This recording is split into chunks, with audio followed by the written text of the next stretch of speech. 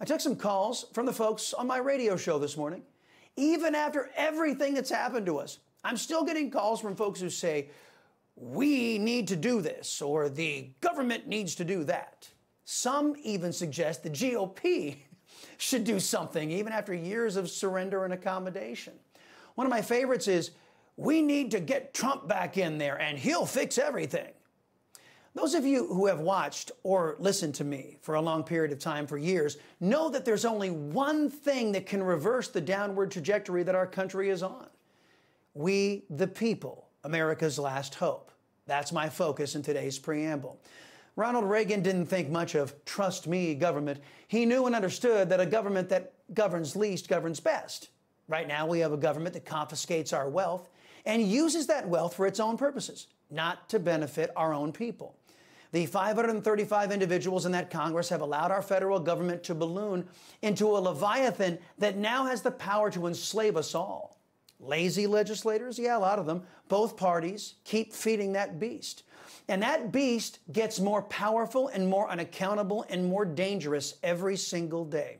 According to estimates, there are roughly 3 million people working for the federal government, easily making it the biggest employer in the United States. But unlike other employers, the federal government produces nothing but heartache. It merely sucks financial resources out of our pocket.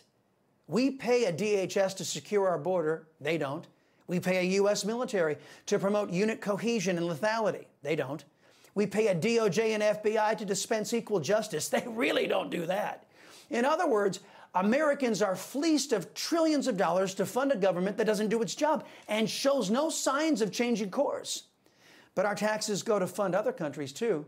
Since Joe Biden has been in office, the United States taxpayers have been forced by our elected officials uh, to send billions of dollars overseas. In 2021, the last year of really Trump influence, Joe Biden's regime and the Congress sent 49 billion of your dollars overseas. In 2022, Joe Biden, the Republicans and Democrats increased that to 69 billion dollars. And in 2023, they sent 62 billion of your hard-earned dollars to other countries. Excluding 2020, the year the China virus struck all of us with a once in a lifetime pandemic, it's easy to see that your government, Joe Biden, Democrats and Republicans, colluded to keep the massive overspending from the China virus going long after the pandemic was in the rearview mirror. In 2021, our deficit was $2.7 trillion, meaning our irresponsible, childish, and feckless government overspent by nearly $3 trillion. Money we don't have. In 2022, leading to the midterms. Your government eh, slightly dialed that back, the massive overspending, only adding 1.38 trillion to your great grandkids' debt. But after the Uniparty got back into power, the GOP and the leftists joined hands to crank up the overspending again in 2023 to the tune of $1.7 trillion of overspending. As we detailed above, despite the federal government's incompetence, politicization, or maybe because of those things, the Uniparty has rubber stamped massive uncontrolled overspending, providing little to no oversight of myriad abuses against the American people, from FISA to religious bigotry abuses of the FBI to the spread of the DIE program to the unconstitutional clampdown on Catholics and pro life people to looking the other way as violence broke out against pro life women's clinics. Despite government's abuses, both the GOP and Democrats gave our abusers our money anyway you know, our elected officials are just too busy to protect us. It hasn't always been like this. Back when the federal courts ruled that America's schools would be integrated, our federal government took action. Under Republican Dwight D. Eisenhower, the government went to work defeating the specter of institutionalized hate ushered into America by the left wing. That was then.